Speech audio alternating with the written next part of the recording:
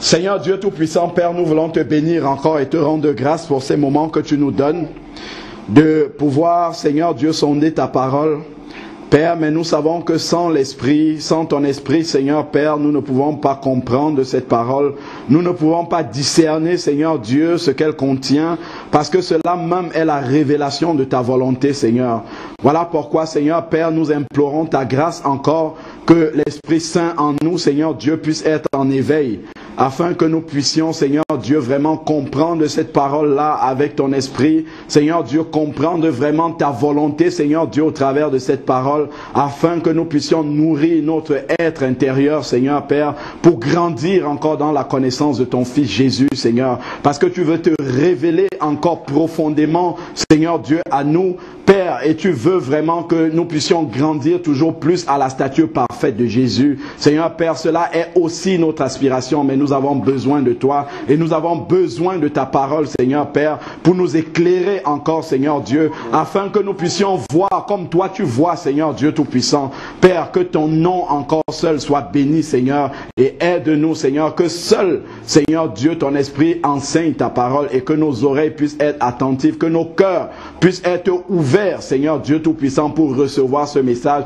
et que au travers, Seigneur Dieu, de ta parole, que tu fasses encore tomber le voile, Seigneur Dieu Tout-Puissant, afin que vraiment, Seigneur Père, nos yeux puissent être ouverts, Seigneur Père, comme tu veux qu'il le soit, au nom de Jésus-Christ. Amen. Amen. Alors, donc, euh, le message que nous allons partager, en fait, le, Seigneur me l'a mis à cœur par rapport à ce qu'on a vécu vendredi. Euh, il y a besoin vraiment qu'on entre dans la parole de Dieu pour nous tous. Hein. pour nous tous, parce que euh, le, le Seigneur ne fait rien pour rien. Il ne permet rien pour rien. C'est parce qu'il veut nous enseigner. Souvent, il nous enseigne au travers des circonstances et ensuite, il nous révèle cela dans sa parole. C'est pour que nous puissions grandir toujours et le connaître toujours davantage et pour de pouvoir aider d'autres personnes également. Donc, comme euh, la, Bible dit, nous sommes les ambassadeurs de Christ. C'est comme si Christ exhortait au travers de nous. Donc Jésus n'est plus là physiquement sur la terre, mais il nous a laissé avec son esprit. Donc nous devons continuer son œuvre. Donc nous devons continuer avec l'esprit du Seigneur à éclairer sur des situations qui peuvent arriver, on ne comprend pas, mais la parole de Dieu est là et a la réponse à tout ce que nous pouvons vivre ici là sur la terre.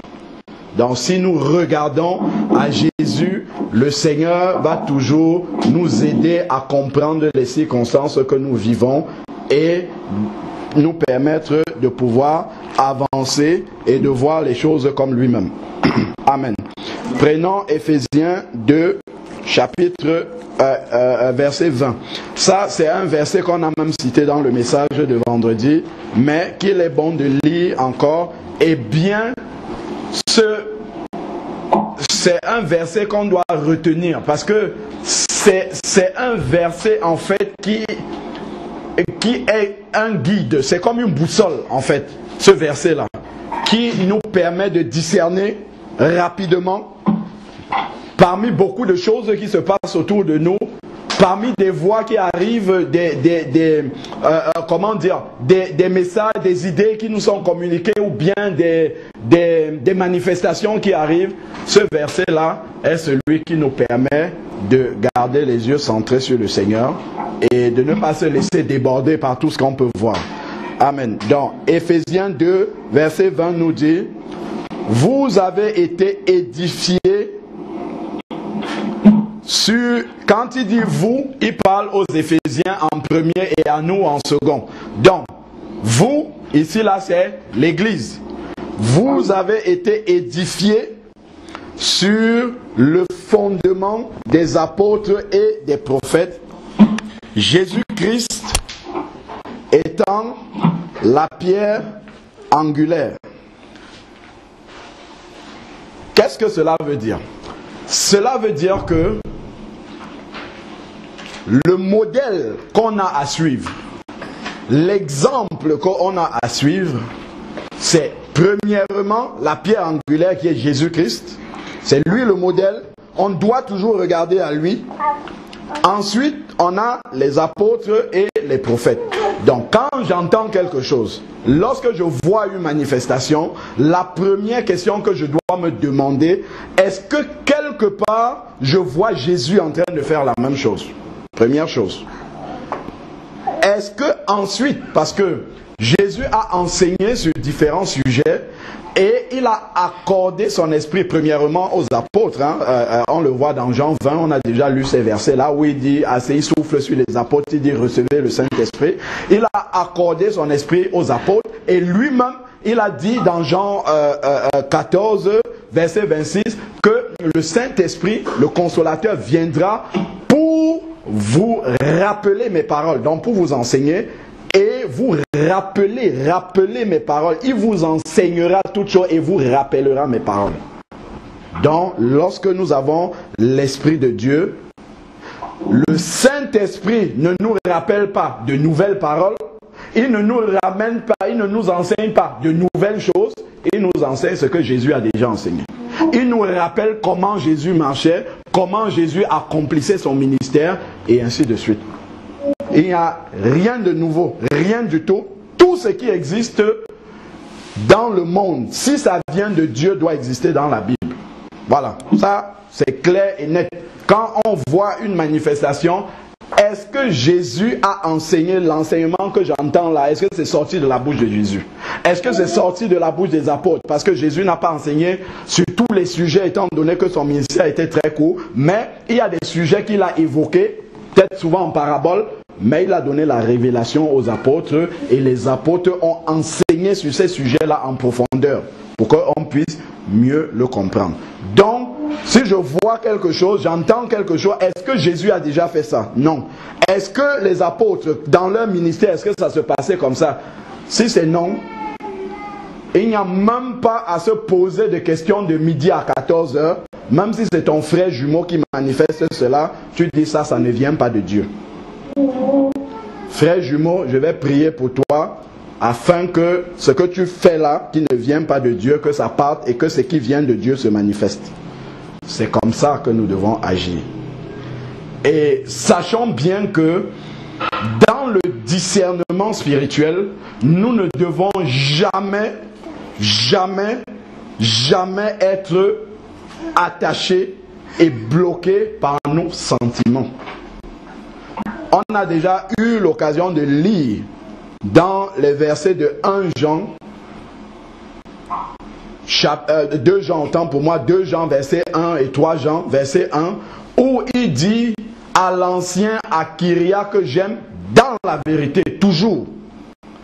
À l'ancien Agaius que j'aime dans la vérité. Donc quand on aime quelqu'un, c'est la vérité qu'on lui dit, toujours la vérité. Jamais laisser quelqu'un qu'on aime dans l'erreur. Si on laisse quelqu'un dans l'erreur, c'est qu'on l'aime pas. C'est ce que la Bible dit.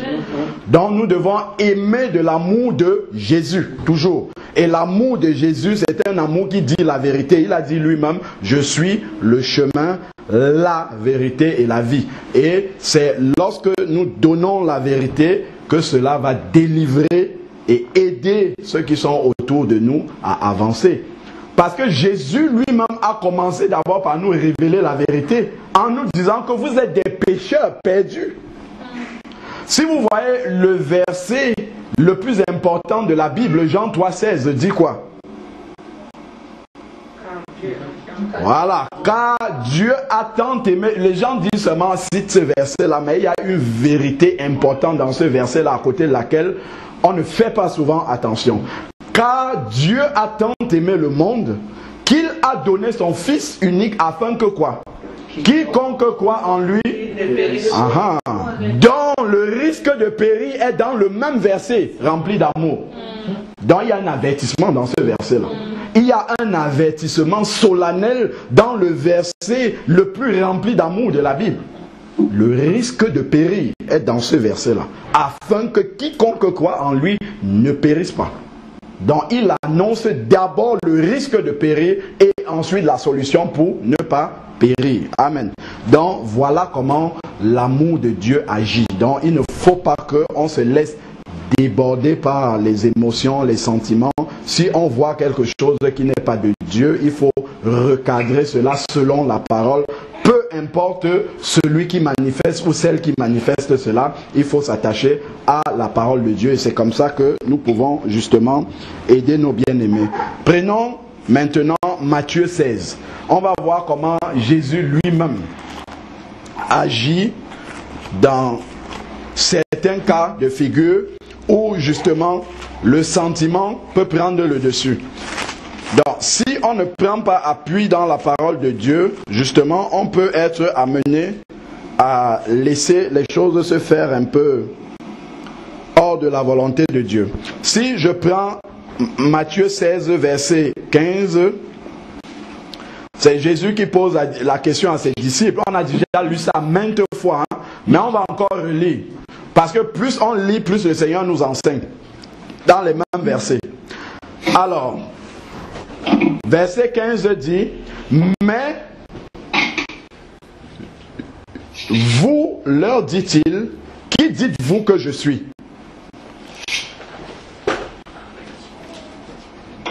Verset 16, Simon Pierre répondit, Tu es le Christ, le Fils du Dieu vivant.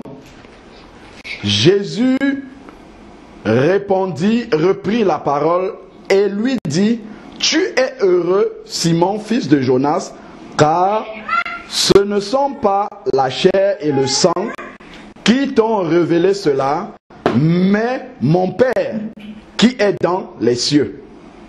Amen. Voilà. Donc, le Seigneur atteste que la révélation que Simon a eue, Simon qui était son disciple, a eue, vient de Dieu. Il atteste cela. Si nous descendons un peu plus bas, verset 21, Jésus commença à leur montrer, à montrer à ses disciples qu'il fallait aller à Jérusalem, souffrir beaucoup de la main des anciens et des principaux sacrificateurs et des scribes, d'être mis à mort et ressuscité le troisième jour. C'est Simon Pierre qui a donné la révélation qui vient de Dieu plus haut là-bas. Et le même Pierre, verset 22, Pierre le prit à part et se mit à lui faire des reproches en disant, à Dieu ne plaise Seigneur, cela ne t'arrivera pas. Regardez la réaction de Jésus. Jésus qui vient de parler au même Pierre, quelques instants avant, il lui a dit, c'est Dieu qui t'a révélé ce message. Peu de temps après, voilà Jésus qui parle au même Pierre et il lui dit, mais Jésus se retourna et dit à Pierre, arrière de moi Satan. Je rappelle que Pierre est l'un des disciples que Jésus aimait le plus. Si vous voyez dans la parole de Dieu, dans les évangiles, il y a trois disciples qui étaient toujours avec Jésus. Il y a Pierre, il y a Jean et il y a Jacques. Ils ont assisté à toutes les résurrections que le Seigneur a opérées à la transfiguration sur le mont où Jésus est apparu avec Élie et, Moïse. Donc, ils ont tout vu du Seigneur. Donc, c'était vraiment des disciples qui étaient proches du Seigneur. Et c'est à ce disciple-là que Jésus aimait beaucoup, que Jésus dit arrière de moi, Satan. Mais il faut discerner une chose, c'est que Jésus ne parlait pas à Pierre.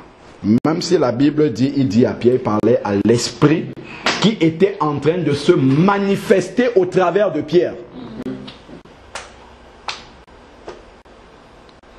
Donc, toujours dissocier lorsqu'on s'adresse à l'esprit qui est en train de se manifester et la personne au travers de laquelle l'esprit se manifeste.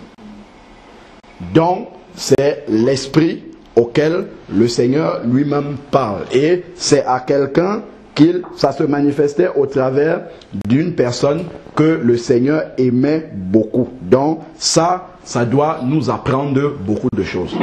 Nous ne devons pas discerner selon le visage de la personne, mais nous devons discerner selon le visage de l'esprit qui se manifeste. Toujours.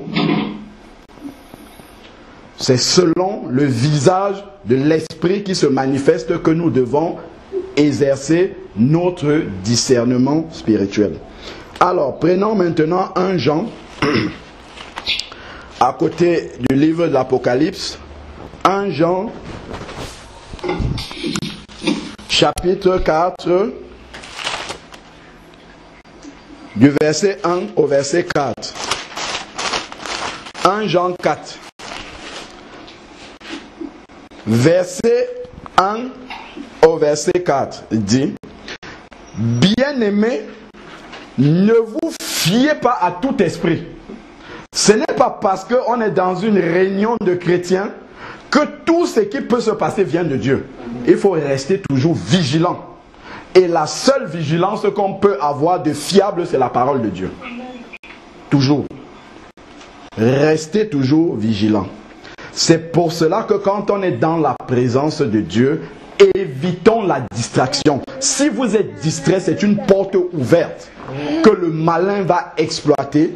Parce qu'il y a un dicton dans le monde qui dit, euh, je crois que peut-être vous avez déjà entendu parler de ça, c'est même un proverbe africain un peu, c'est si je ne peux pas manger dans ton tapioca, qu'est-ce que je fais? Je crache dedans.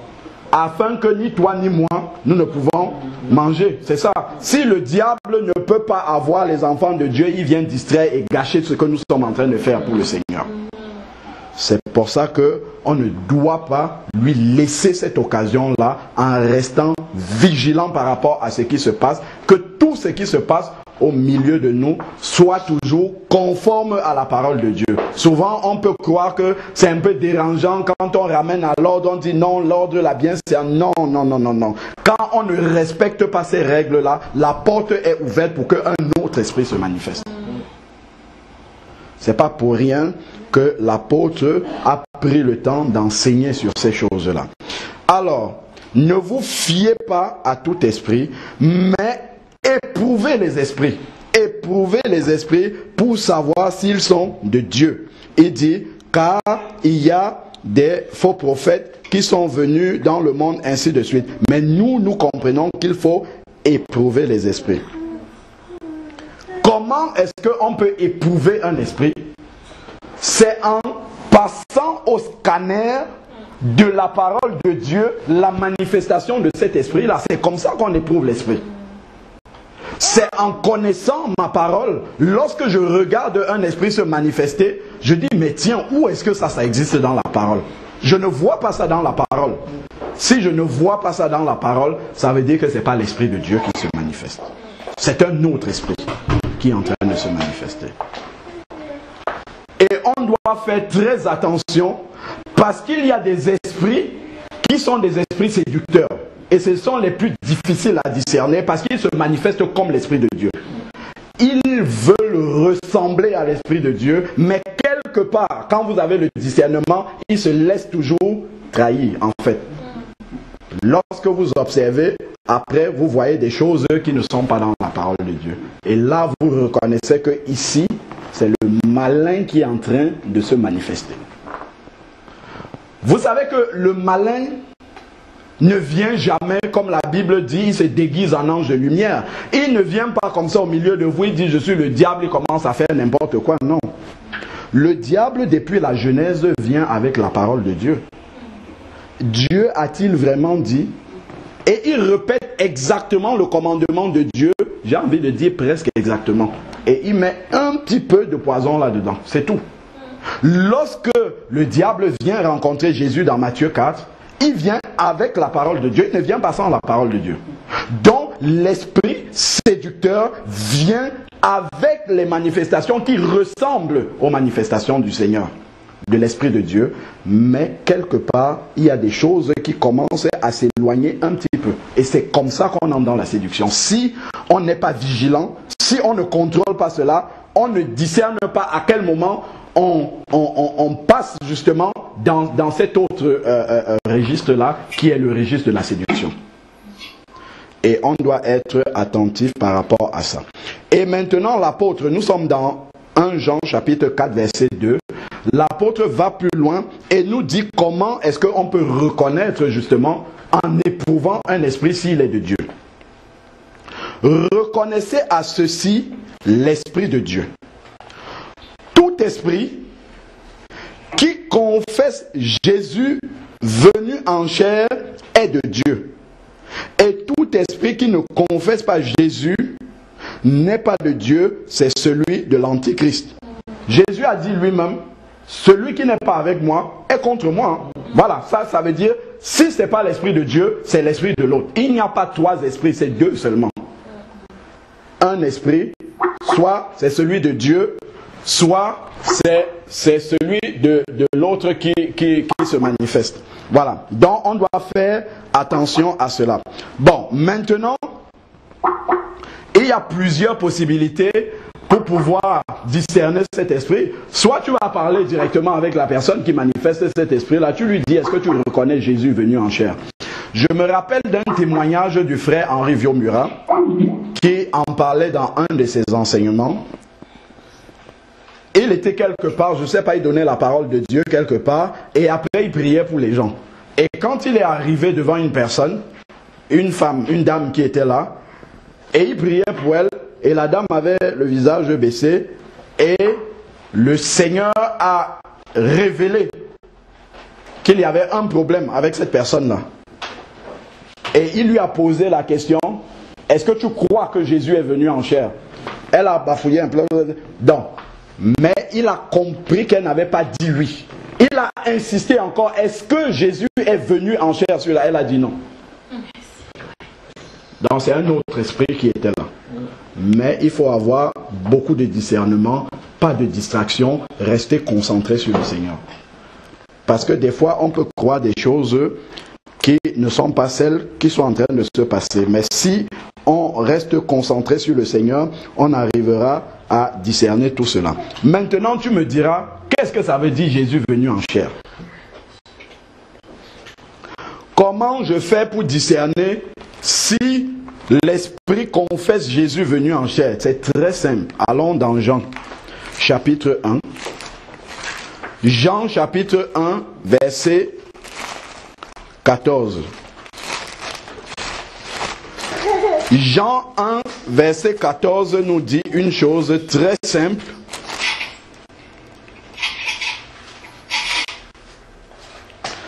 La parole s'est faite chair, elle et elle a habité parmi nous, pleine de grâce et de vérité, et nous avons contemplé sa gloire, une gloire comme celle du Fils unique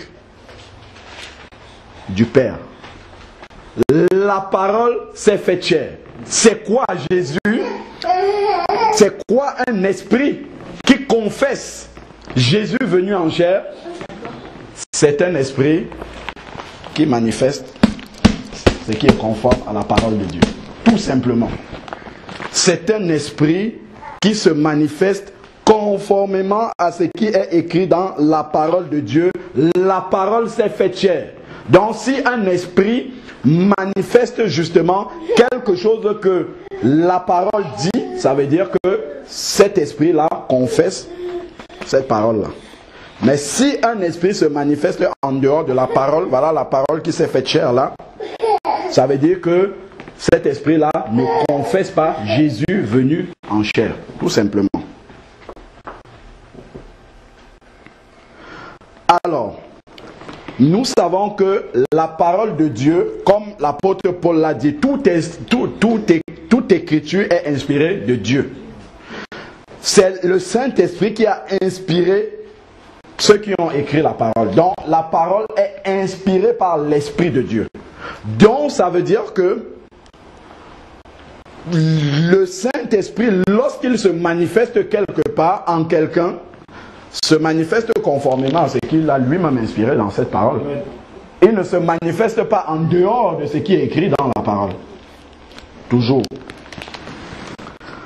Alors, donc, par conséquent, si un esprit se manifeste et qu'on ne voit pas cela dans la parole, ça veut dire qu'il n'a pas son origine n'est pas le, Saint-Esprit.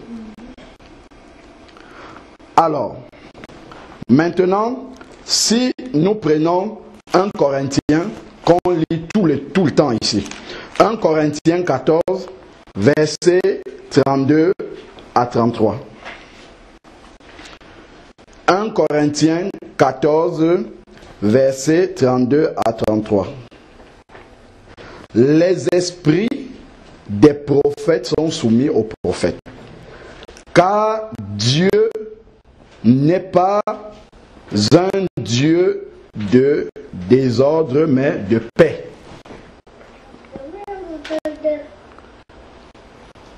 Manifestation dans l'Église qui vient de manière à troubler l'ordre et la bienséance ne peut pas venir de Dieu. Est-ce que vous entendez bien ça? Toute manifestation dans l'Église qui vient de façon à troubler l'ordre et la bienséance ne vient pas de Dieu. Parce que c'est le Saint-Esprit, comme on a dit, qui a inspiré cette parole et qui a dit ce que nous venons de lire là. Et la Bible dit bien que l'esprit des prophètes est soumis aux prophètes, c'est-à-dire que le Saint-Esprit lui-même agit conformément à l'enseignement qu'il a donné. Donc quand il vient se manifester au travers de quelqu'un, il se soumet à cette parole-là. Donc il va respecter l'ordre et la bienséance. Il ne va pas venir de façon à troubler le culte. Non, pas du tout. Quand on regarde à chaque fois que les apôtres se réunissaient, faisaient, on dit voilà, on a imposé les mains, ils ont reçu le baptême dans le Saint-Esprit, ils ont parlé en là, il n'y a pas de désordre, c'est dans l'ordre et la bienséance. On ne dit pas les gens sont tombés par terre, ils ont commencé à se rouler. Ça, ça ne vient pas de Dieu, ça. Ça ne vient pas de Dieu. Quand on voit quelque chose qui trouble le culte, là, il faut comprendre qu'il y a déjà un esprit autre que l'esprit du Seigneur qui est en train de se manifester. Ça encore, c'est un élément fondamental sur lequel nous devons nous appuyer.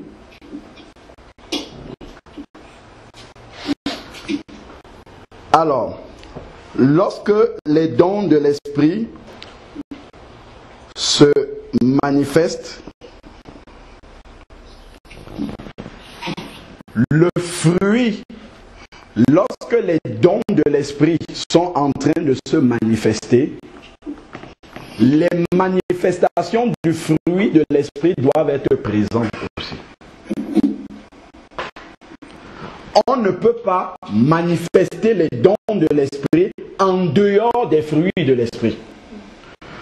Pour savoir si une manifestation est une authentique manifestation de l'Esprit de Dieu, il faut que les fruits, les manifestations du fruit de l'Esprit soient là aussi.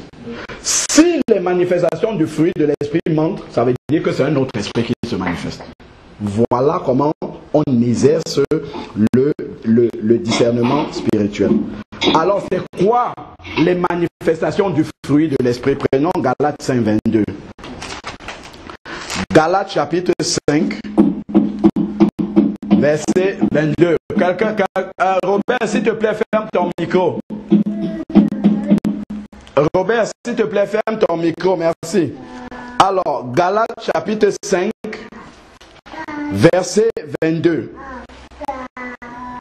nous dit, mais le fruit de l'esprit, donc il y a un fruit avec plusieurs manifestations. C'est comme un fruit une orange, une mandarine qui a plusieurs quartiers, comme on dit habituellement, plusieurs morceaux. Donc, c'est un fruit de l'esprit qui a maintenant plusieurs manifestations. Et c'est quoi dans ces manifestations C'est l'amour. Lorsque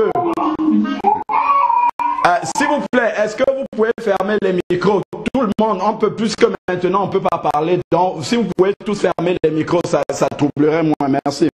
Alors, donc, en fait, lorsque l'Esprit de Dieu est en train de se manifester au milieu des enfants de Dieu, ça nous rapproche dans l'amour. La haine ne peut pas être là. Si la haine est là, ça veut dire que ce n'est pas l'Esprit de Dieu. Si le rejet est là, ça veut dire que ce n'est pas l'Esprit de Dieu. Je prends par exemple le cas où on parle tout le temps de, de, la sanctification extérieure, où on s'habille, euh, bon, extérieurement, on veut avoir une certaine apparence, c'est bien. Mais si survient quelqu'un qui n'est pas habillé comme nous et qu'on commence à le rejeter, sachant que ce n'est pas l'Esprit de Dieu. C'est un autre esprit qui est en train de se manifester. Donc on peut être habité, on a vu Pierre, c'est un disciple de Jésus. C'est un disciple de Jésus qui a été un temps animé par l'Esprit de Dieu, Jésus l'a témoigné, mais quelques temps après, animé par Satan influencé par Satan et Satan a parlé au travers de lui. Donc, on peut être tout enfant de Dieu, mais être influencé à ce moment-là par quelque chose qui ne vient pas de Dieu, qui est un autre esprit. Et ça, il faut le discerner tout de suite. Donc, l'amour est le témoignage justement que l'Esprit de Dieu est là et est en train de se manifester. La joie la joie qui se manifeste, si on est là, on est triste, on perd confiance au Seigneur, il y a un problème. La paix. Vous voyez quelqu'un agité et il dit qu'il est rempli du Saint-Esprit, il faut trembler. Commencez à vous reculer déjà, c'est qu'il y a un problème. Quelqu'un qui est rempli par l'Esprit de Dieu, il est dans la sérénité. Pourquoi? Parce que l'Esprit de Dieu te communique te met en contact, en communion avec Jésus. Regardez, Jésus n'était jamais troublé dans toutes les circonstances les plus difficiles que le Seigneur a traversées. Le Seigneur était couché dans la barque au moment où la mer était agitée comme tout.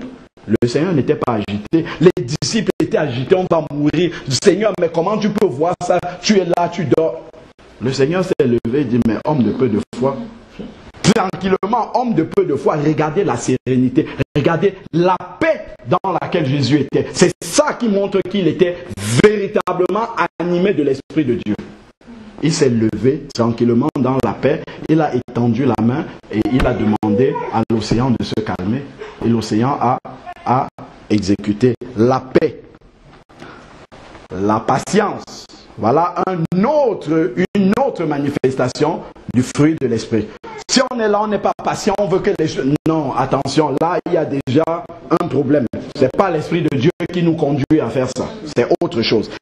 Alors, maintenant, la bonté, la bienveillance, la fidélité, la douceur. Le dernier, celui qui pose le plus problème, c'est la maîtrise de soi.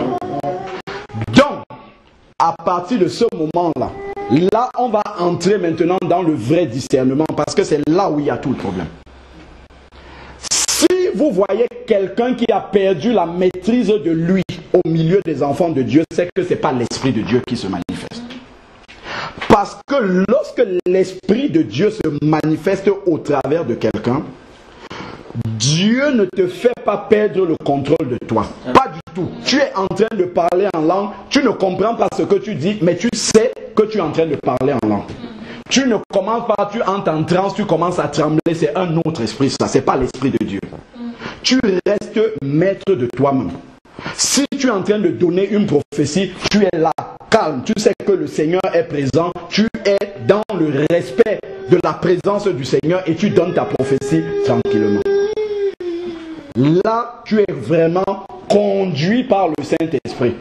Tu es en train de manifester véritablement l'Esprit de Dieu. Donc, si tu as tendance à, parce que le Saint-Esprit veut se glorifier, tu commences à faire n'importe quoi dans le culte, sache que c'est un autre esprit qui se manifeste. La maîtrise de soi. La maîtrise de soi. Le Seigneur ne va jamais venir oh, les gens disent oui, le Saint-Esprit se manifeste en étant la main sur quelqu'un, il tombe, on dit c'est un démon qui se manifeste, c'est pas l'Esprit de Dieu. L'Esprit de Dieu ne vient jamais pour humilier les enfants de Dieu. Les gens tombent, ils roulent comme ça, on dit oui, voilà, il va devenir prophète. Pas du tout, c'est faux. C'est pas vrai ça. C'est pas conforme à la parole de Dieu.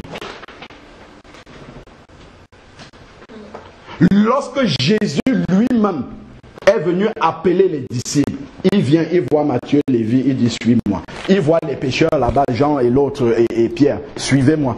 Il n'y a pas de il avait toute la plénitude de l'onction de Dieu. Mais si, si vraiment il fallait que les manifestations de l'Esprit soient de façon spectaculaire, faire renverser, mais quand Jésus t'appelle comme ça, le vent devait t'amener très loin, tu devais aller tomber à 10 millions de kilomètres, mais jamais, jamais cela. On ne, voit pas cela dans le calme, la maîtrise de soi. Ah, Matthieu Lévy, suis-moi. Matthieu pose juste ses effets, il suit Jésus tranquillement. Voilà l'Esprit de Dieu. Donc, on doit faire très attention à tous les débordements.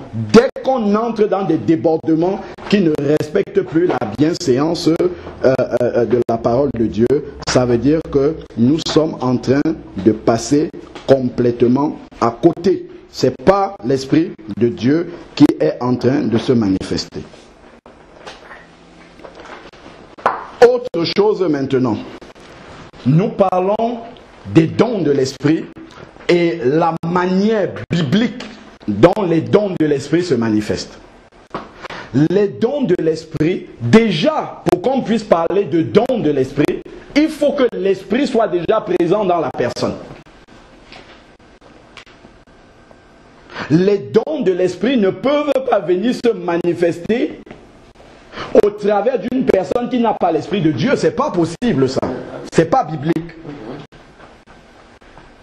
Donc, le, Seigneur, s'il doit manifester son esprit, euh, s'il doit manifester ses dons au travers de quelqu'un, va commencer d'abord par faire en sorte que la personne reçoive le Saint-Esprit.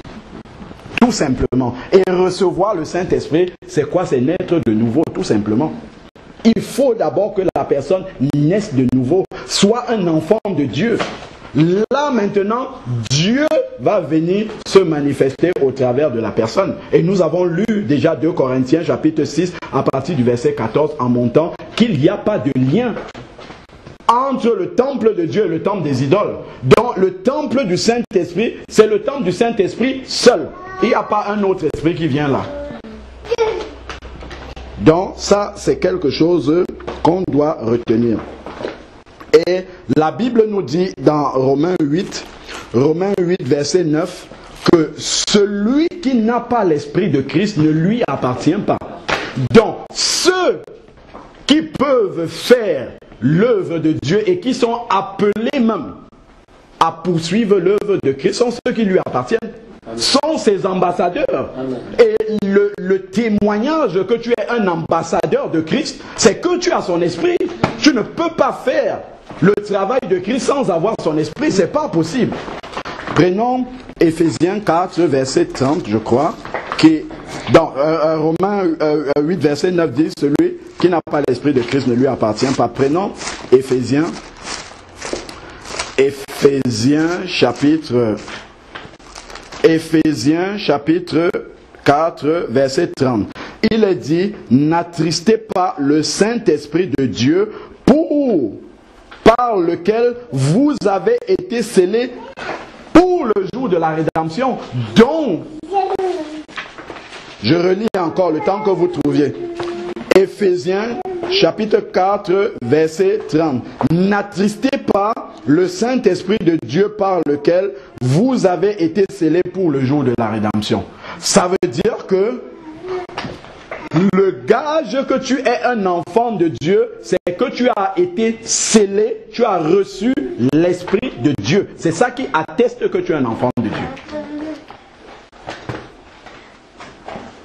Comme on lit souvent dans 1 Jean chapitre 3, versets 9 et 10, qui donne la différence entre celui qui est enfant de Dieu et celui qui ne l'est pas. On dit parce que la semence de Christ, la semence de Dieu habite en lui et il ne peut pécher. Pourquoi? C'est quoi cette semence-là? C'est l'Esprit de Dieu. Donc, la première chose quand Dieu veut se manifester au travers de quelqu'un, veut lui accorder des dons, il commence d'abord par faire en sorte que tu deviennes son enfant. D'abord, que tu deviennes son ambassadeur. C'est la case de départ. Il n'y a rien que le Seigneur... Ne bâtit jamais sans mettre la fondation. C'est nous qui pensons qu'on peut faire cela. Non, Dieu met toujours la bonne fondation avant de commencer à bâtir dessus. Et la bonne fondation du Seigneur, c'est d'abord que tu naisses de nouveau, que tu sois un enfant de Dieu, que tu aies reçu l'Esprit de Dieu. Et là maintenant, lorsque tu as reçu l'Esprit de Dieu, alors la puissance du Saint-Esprit peut agir au travers de toi. Mais si tu n'as pas l'Esprit de Dieu, c'est une autre puissance qui agit au travers de toi. Ce n'est pas la puissance du Saint-Esprit parce que tu n'as pas l'Esprit.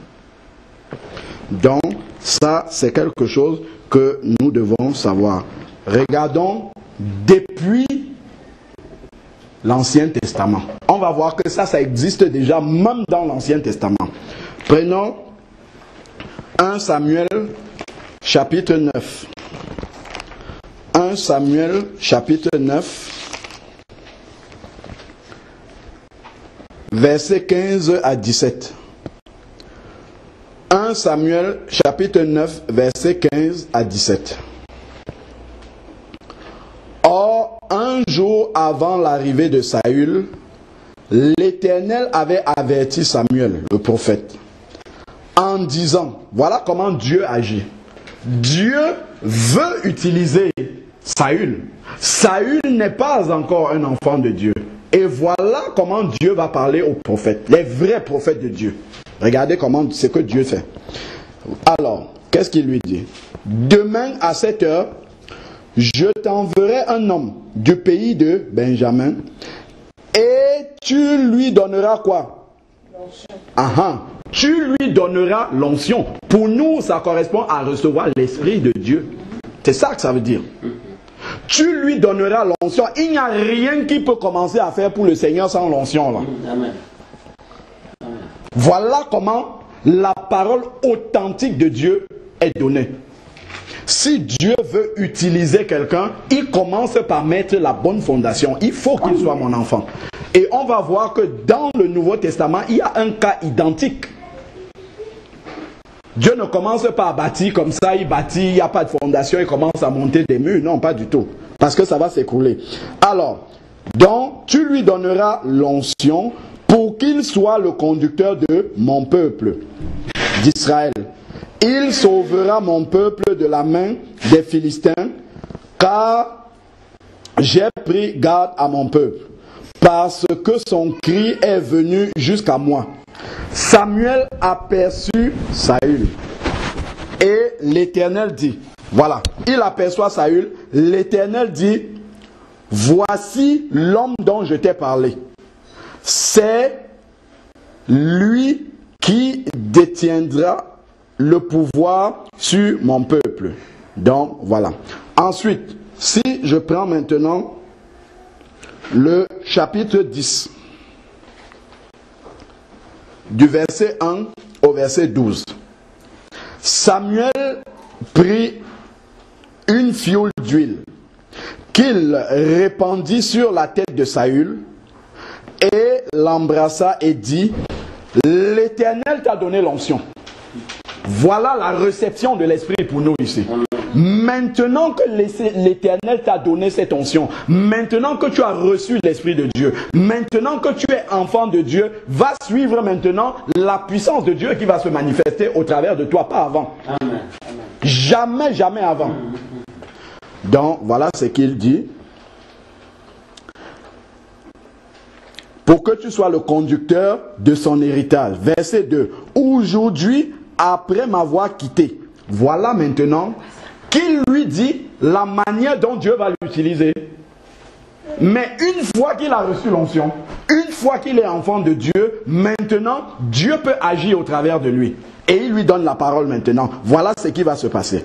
Alors, il lui dit aujourd'hui, après m'avoir quitté, tu trouveras deux hommes près du, euh, tombeau de Rachel, à la frontière de Benjamin, à euh, euh, euh, euh, je sais pas si c'est cette salle, j'arrive à lire.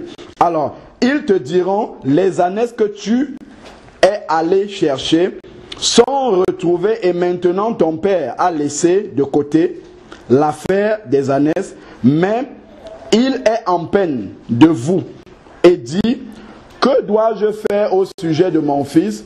De là, tu iras plus loin, tu arriveras euh, aux chaînes de Tabor où tu seras abordé par trois hommes montant vers Dieu à Bethel et portant l'un trois chevreaux et l'autre trois miches de pain et l'autre une outre de vin. Maintenant qu'il a reçu l'Esprit de Dieu, qu'il a reçu l'onction de Dieu, il peut entendre, comprendre, écouter les instructions de Dieu. Pas avant. Si quelqu'un n'a pas l'Esprit de Dieu, il ne peut pas discerner. L'Esprit de Dieu, c'est l'équipement que nous avons qui nous permet de discerner la voix de Dieu. Sinon, on ne peut pas entendre cette voix-là. Donc maintenant, il peut recevoir la parole de Dieu les instructions de Dieu. Verset 4. Ils te salueront et te donneront deux pains que tu prendras de leurs mains.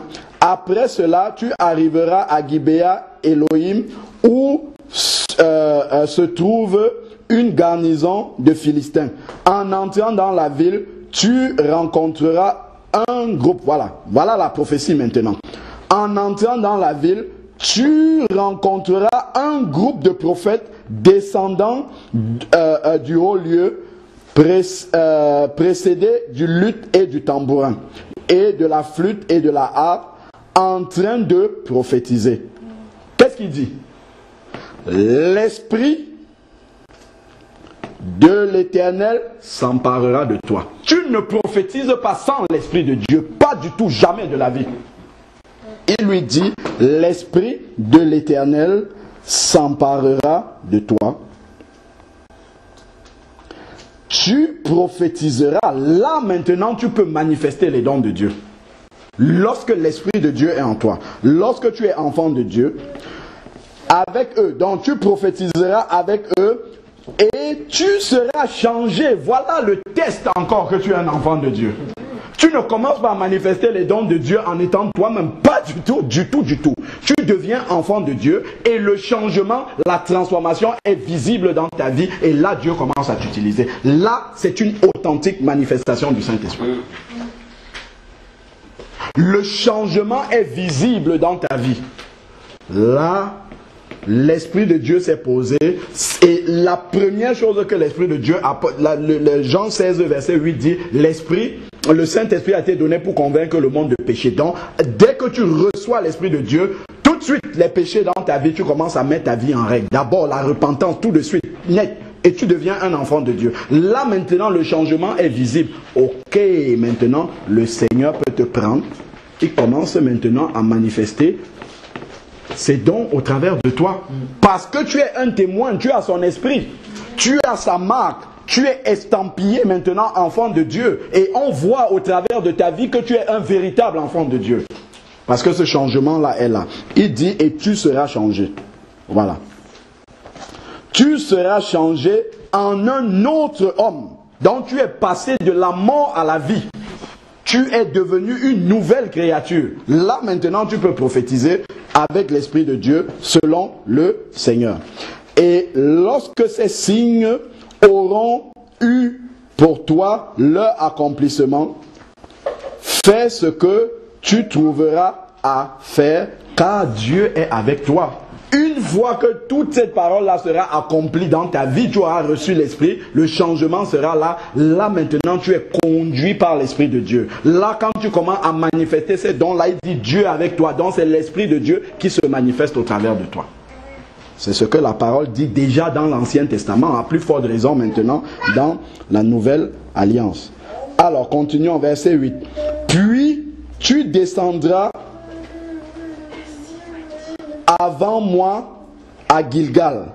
Alors, à mon tour, je descendrai vers toi pour offrir des holocaustes et des sacrifices de communion.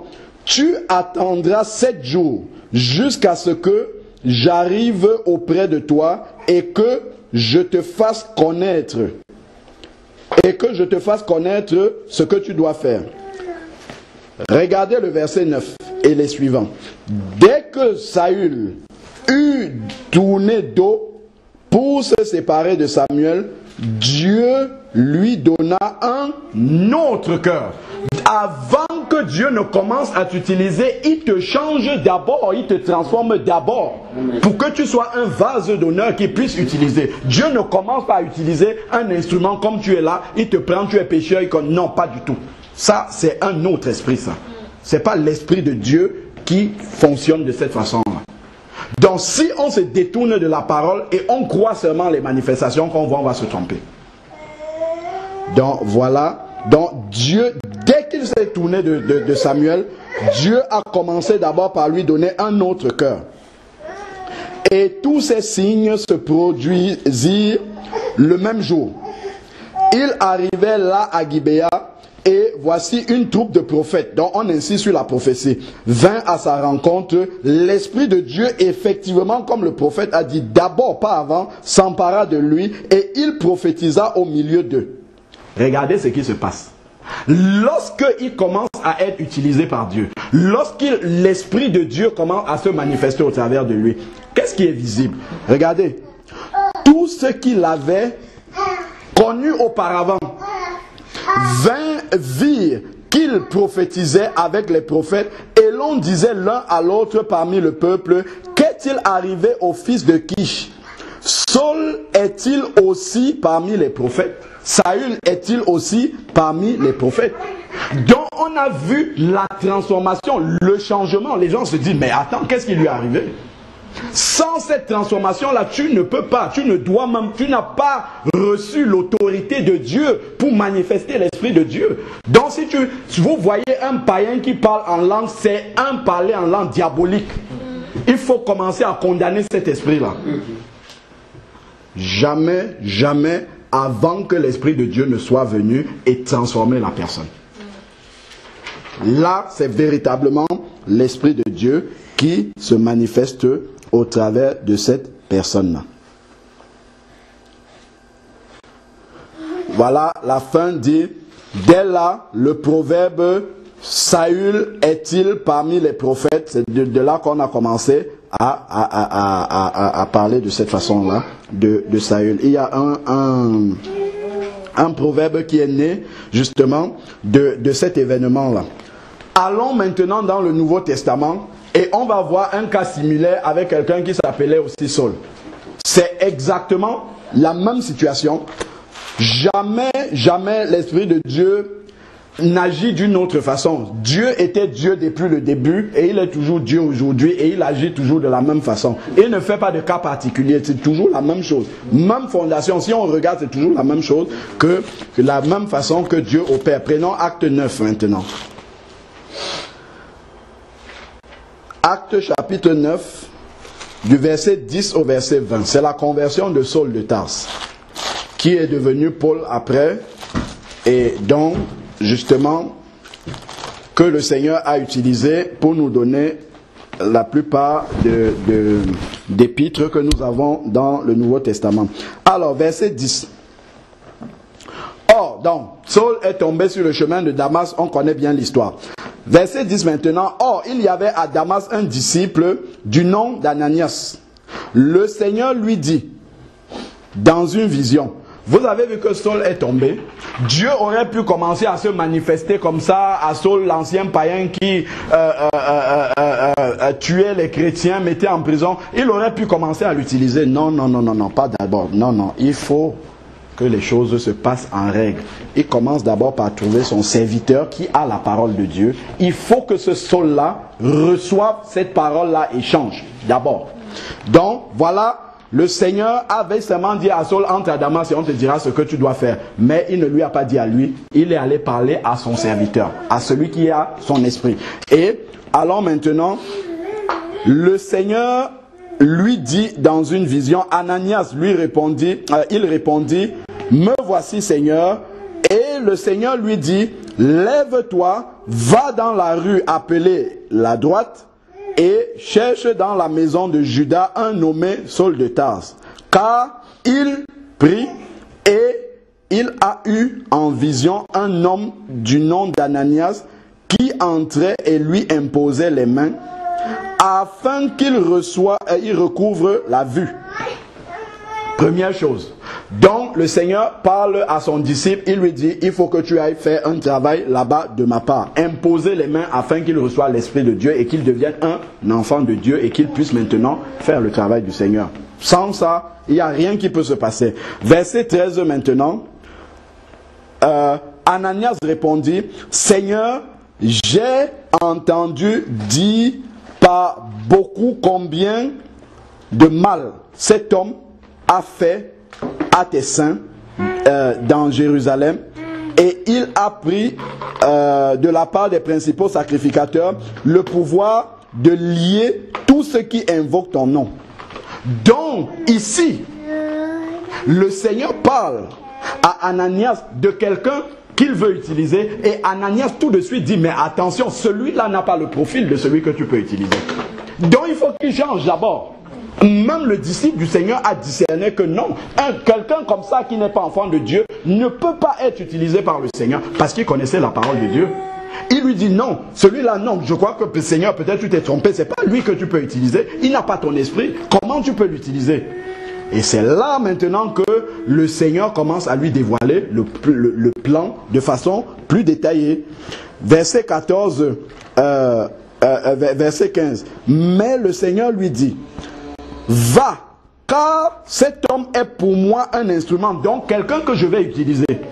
Car cet homme est pour moi un instrument de choix afin de porter mon nom devant les nations et devant les rois et devant les fils d'Israël.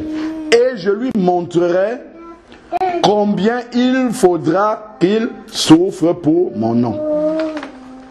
Ah, Ananias dit, ah tiens donc, c'est ton plan Seigneur. Tu veux utiliser cet homme-là, mais avant de commencer à utiliser, il faut qu'il passe de la mort à la vie. Il faut qu'il change. Il faut qu'il devienne ton enfant. Donc je comprends que je suis simplement le catalyseur, l'élément déclencheur par lequel sa nouvelle naissance va être accomplie, qu'il devienne un enfant de Dieu et que le projet que tu as de l'utiliser commence à se réaliser. Le Seigneur ne commence pas à travailler comme ça sans qu'il n'ait d'abord posé cette fondation-là. Verset 17 maintenant. Ananias partit et lorsqu'il fut arrivé dans la maison, première chose, il imposa les mains. La même chose que Samuel là-bas. Dieu a utilisé Samuel pour aller trouver un païen Saül, mais il fallait que le païen reçoive l'onction, qu'il change, et maintenant Dieu pouvait l'utiliser. Pareillement ici, Dieu va trouver un disciple du Seigneur, Ananias, et il parle à Ananias. Ananias arrive, il n'a pas euh, euh, fait comme Samuel qui avait mis l'onction, mais il a imposé les mains, ce qui est tout à fait pareil dans la nouvelle alliance. Et voilà maintenant, le Seigneur peut déclencher quelque chose. Mon frère, voilà, quand euh, euh, euh, Ananias est arrivé, il a même dit, Saul, mon frère, il le considère déjà comme un enfant de Dieu parce qu'il sait ce qui va se passer là maintenant. Saul, mon frère, le Seigneur, Jésus qui t'est apparu sur le chemin par lequel tu venais, m'a envoyé pour que tu recouvres la vue et que tu sois rempli du Saint-Esprit. Que tu recouvres la vue, c'est bien, c'est une guérison physique, mais que tu reçoives, que tu sois rempli du Saint-Esprit. Parce que sans ça, tu ne peux pas faire la mission. Sans l'Esprit de Dieu qui entre en toi, que tu deviennes véritablement son enfant, jamais tu es disqualifié, tu ne peux pas faire être utilisé par Dieu. Donc voilà pour que tu recouvres la vue et que tu sois rempli du Saint-Esprit. Regardez ce qui se passe. Au même moment, il tomba de ses yeux comme des écailles. La transformation commence. Les yeux qui étaient enténébrés avant par le judaïsme et toute sa religion sont tombés d'abord. Donc la transformation commence. Il faut d'abord que ses yeux s'ouvrent. Ces anciens yeux de païens doivent commencer à voir les choses autrement. Voir les choses comme le Seigneur les voit. Donc il tomba de ses yeux comme des écailles et il recouvra la vue. Il se leva. Regardez, il se leva, il aurait pu aller, sortir, commencer à dire Jésus est monté. Non, non, non, non, non, non, non. On ne brûle pas les étapes. Il se leva et fut baptisé il se leva et fut baptisé. Donc immédiatement après la réception du Saint-Esprit, il a été baptisé. Maintenant, il est un enfant de Dieu et il fait partie du corps de Christ. Dieu peut se servir de lui. Là, c'est bon maintenant. Là, c'est parfait. Alors, donc, et il fut baptisé. Et verset 19, après avoir pris la nourriture, il retrouva des forces. Il resta quelques jours avec qui? Les disciples. Pourquoi? Parce qu'il était maintenant un enfant de Dieu. Il doit partir du milieu des disciples pour commencer à faire le travail de Dieu parce qu'il a été intégré au corps de Christ. Maintenant, il a reçu l'autorité du Seigneur pour aller faire son travail, pas avant. Maintenant qu'il est son enfant. Alors, donc, continuons. Verset 20. Aussitôt, maintenant qu'il a reçu l'onction de Dieu, il a reçu tout ce qu'il faut, il est enfant de Dieu, il est baptisé, il est né de nouveau, il a reçu l'Esprit de Dieu. Aussitôt, verset 20, il se mit à prêcher dans les synagogues en disant que c'était le Fils de Dieu, que Jésus était le Fils de Dieu. Il se mit à prêcher Jésus dans les synagogues en disant que c'était le Fils de Dieu. Là maintenant, il peut parler de Jésus parce qu'il a son esprit. Il a tout reçu comme il faudrait. Donc là, voilà encore euh, euh, quelque chose qui doit euh, justement nous amener à, discerner aussi. Alors, donc, si on nous donne une prophétie, par exemple, on nous donne une parole de connaissance, on nous dit Dieu va t'utiliser, Dieu celui qui, a vu Samuel, on a vu Ananias, celui qui dit cela, qui prophétise par la bouche de l'Éternel, doit aussi t'amener, comme Samuel, comme Ananias, à faire les choses dans l'ordre du Seigneur. Donc il doit commencer à te demander, ah Dieu veut t'utiliser, ok, est-ce que tu es enfant de Dieu? C'est par là que ça commence. Si tu n'es pas enfant de Dieu, bon voilà, voilà comment tu dois commencer. Ensuite, tu deviens enfant de Dieu. Et puis maintenant, la prophétie peut s'accomplir. C'est ce qu'on voit. Donc, c'est ce, le travail justement que les serviteurs du Seigneur par lequel le Seigneur parle pour annoncer quelque chose qu'il veut faire dans la vie de quelqu'un. Voilà comment ils agissent conformément selon la parole de Dieu. Donc, il peut avoir eu un manquement justement à ce niveau-là. Et ça, c'est un manquement qui est très grave. Parce que justement, euh, euh, ça, ça peut amener à des choses qui ne sont pas conformes à la parole de Dieu. Ça, je vais nous économiser la lecture, mais si vous regardez dans Acte 10, on a le même cas. Acte 10 avec Corneille. Si on lit euh, le verset 1, il y avait à Césarée un homme du nom de Corneille, centurier, centenier autant pour moi, de la cohorte appelée italienne. Il était pieux et avec toute sa maison, il craignait Dieu. Il faisait beaucoup d'aumônes au peuple et priait Dieu constamment. Donc, c'est quelqu'un qui aimait Dieu, il avait le cœur de Dieu, mais il connaissait, il n'était pas né de nouveau. Qu'est-ce que Dieu a fait? Même scénario, il, il a parlé aussi à un païen, hein. il lui a parlé dans une vision, il lui dit d'envoyer des personnes, aller chercher qui? Son serviteur, Pierre. Même chose, même scénario. La parole de Dieu est toujours la même. On est venu annoncer à Pierre là-bas, voilà, euh, le Seigneur t'attend à tel endroit. Et le Seigneur a même préparé aussi Pierre, comme il a fait pour Ananias, comme il a fait pour Samuel. Il lui a annoncé, voilà, je vais t'envoyer dans la maison d'un païen qui s'appelle Corneille, ainsi de suite. Et là-bas, tu vas annoncer la parole de Dieu. De la même façon, le serviteur de Dieu, Pierre, est arrivé et a annoncé la parole de Dieu. Parce que la Bible dit dans Jean 1, verset 12, à tous ceux qui l'ont reçu, a donné le pouvoir de devenir enfant de Dieu. On ne peut pas devenir enfant de Dieu sans avoir au préalable reçu la parole de Dieu. On reçoit d'abord la parole de Dieu, ensuite le Saint-Esprit convainc de péché, là on se repent et on devient un enfant de Dieu en recevant l'Esprit et en confessant Jésus. Voilà comment ça se passe. Donc c'est pour ça que dans tout, tous les cas qu'on a lu, Samuel, Samuel a dû parler d'abord à, à Ananias de ce que de la parole de Dieu. Voilà ce que le Seigneur veut faire. Il reçoit d'abord la parole de Dieu.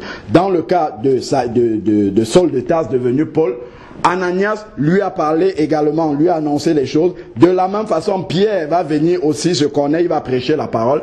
Et pendant donc que Pierre est en train de prêcher, ceux qui sont là suivent attentivement et leur cœur est touché, leur cœur est changé à ce moment-là. Et là maintenant, comme leur cœur est touché et changé, là l'Esprit de Dieu descend. Et je crois, on a lu ça tout à l'heure quand on parlait du baptême dans le Saint-Esprit. L'Esprit de Dieu descend sur eux. Et qu'est-ce que Pierre a fait? Tout de suite le baptême. Tout de suite. Donc, on, dit, il ne faut pas attendre. Une fois qu'il a vu l'Esprit de Dieu descendre sur eux, il dit non, là, ce sont des enfants de Dieu. Qu'est-ce qu'ils doivent faire? Tout de suite aller dans les eaux du baptême pour qu'ils soient vraiment accomplis, qu'ils aient toute l'autorité pour exercer maintenant l'œuvre du Seigneur. Voilà comment, justement, on doit pouvoir conduire les choses. Si on regarde dans Marc 16, verset 17, qu'on connaît tous, voici les miracles qui accompagneront ceux qui auront cru. Donc, quand on dit cru, c'est pas dire je crois en Jésus, j'aime Jésus, non c'est se repentir de ses péchés, naître de nouveau, entrer dans les eaux du baptême. Là maintenant, ça devient valable pour toi. Là, tu peux exercer. Maintenant, il a dit en mon nom, ils parleront de nouvelles langues. Euh, euh, s'ils tiennent des serpents, parlent ainsi de suite, ils imposeront les mains aux malades, ainsi de suite. Mais il faut d'abord être passé par la case de départ qui est celle justement de la conversion pour croire au Seigneur. Et nous savons que l'Esprit de Dieu, le Seigneur respecte toujours notre libre arbitre. Dieu ne peut pas forcer quelqu'un pour l'utiliser.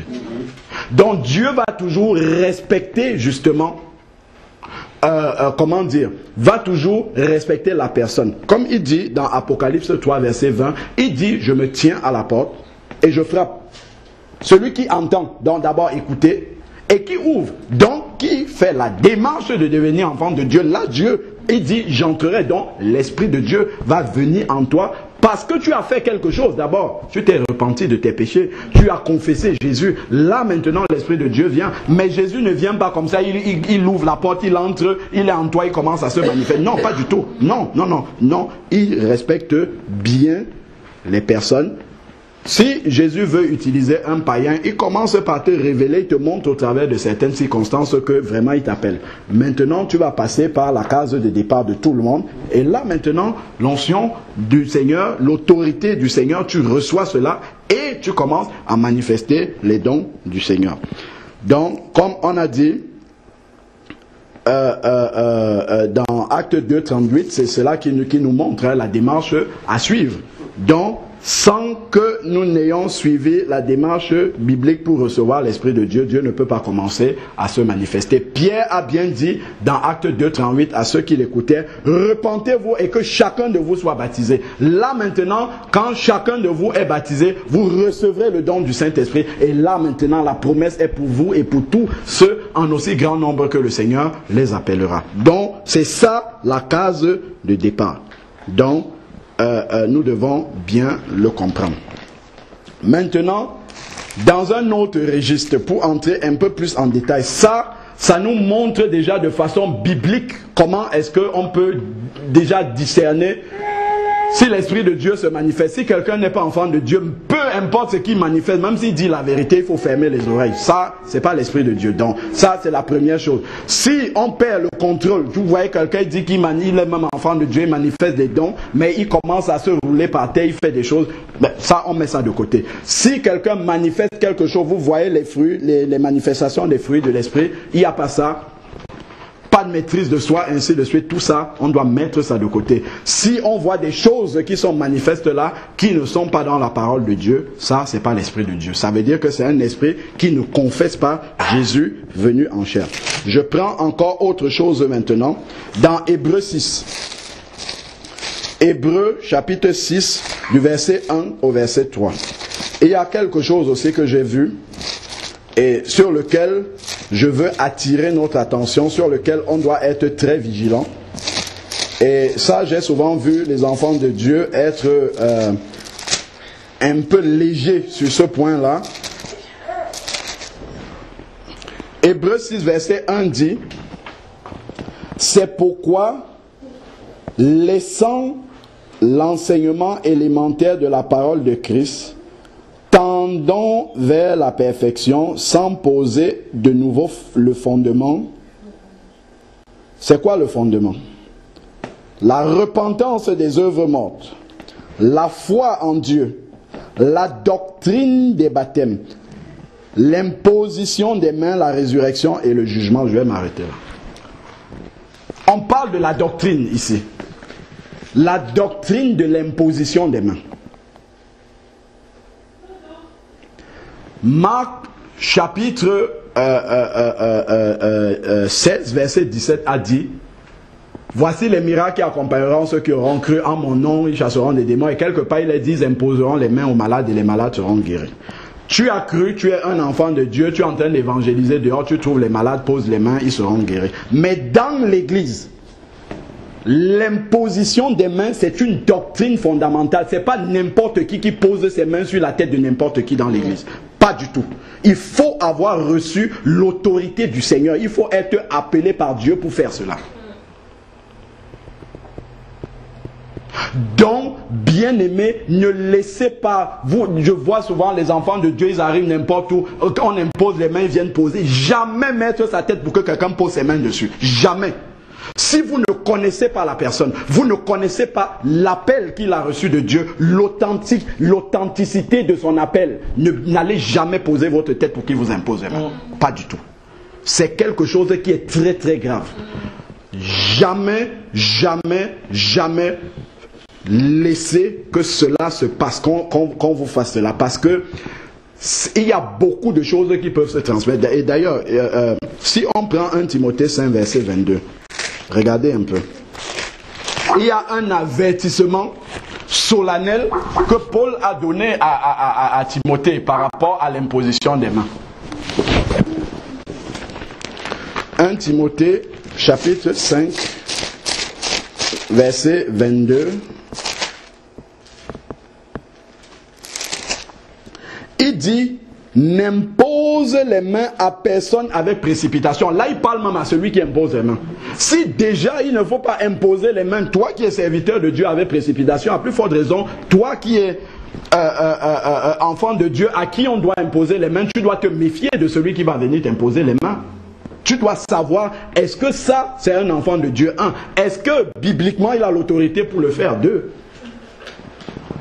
parce que au travers de l'imposition des mains, il y a la communication des dons, il y a la communication des esprits, il y a la communication de beaucoup de choses. C'est pour ça que je vous disais attention, ce qui est en train de se passer au milieu de nous, il y a des choses qui peuvent se transmettre là. Si tu n'es pas véritablement un enfant de Dieu et qu'on vient t'imposer les mains, on peut te transmettre un esprit. Si tu n'es pas vraiment en Christ, les deux pieds, vraiment le temple du Saint-Esprit, sachant qu'un autre esprit ne peut pas venir vivre là-dedans, on te pose les mains, on te transmet des esprits. C'est pour ça qu'il faut faire attention. Si on voit des choses justement euh, euh, euh, qui bibliquement ne tiennent pas, il faut vraiment faire attention. Il y a beaucoup de versets qui parlent de l'imposition des mains. J'avais noté Acte 6, 6 par exemple. Acte chapitre 6, verset 6. L'imposition des mains dans l'église, c'est quelque chose, c'est une doctrine fondamentale vraiment de la parole de Dieu. C'est comme euh, euh, euh, la, doctrine des baptêmes, ainsi de suite. Il faut vraiment faire attention par rapport par rapport à ça. C'est pas tout le monde dans l'église qui va venir imposer les mains et prier pour que vous recevez le don du Saint-Esprit. Vous avez vu dans Acte 8, lorsque les Samaritains ont reçu la parole de Dieu, qu'est-ce qu'il a dit? Les apôtres sont quittés de Jérusalem pour venir imposer les mains. Parce que là, c'est dans l'église. C'est pas n'importe qui qui pouvait imposer les mains pour qu'ils reçoivent le don du Saint-Esprit. Les apôtres n'auraient pas pu n'auraient pas dû se déplacer de Jérusalem juste pour venir imposer les mains si n'importe qui aurait pu le faire. Donc, c'est pour ça qu'il faut faire vraiment très, très, très attention à cela. Acte 6, 6, il est dit, euh, bon, c'est par rapport à la distribution, ainsi de suite. Mais, un, euh, ah je ne sais pas au bon endroit. Euh, acte chapitre 6, verset 6. Alors, acte chapitre 6, verset 6. Alors, euh, dans là, c'est l'élection des diacres et tout ça. Après, il les présentait à qui? Aux apôtres. Et qui, après avoir prié, leur imposa les mains. Qui a imposé les mains ici? Les apôtres.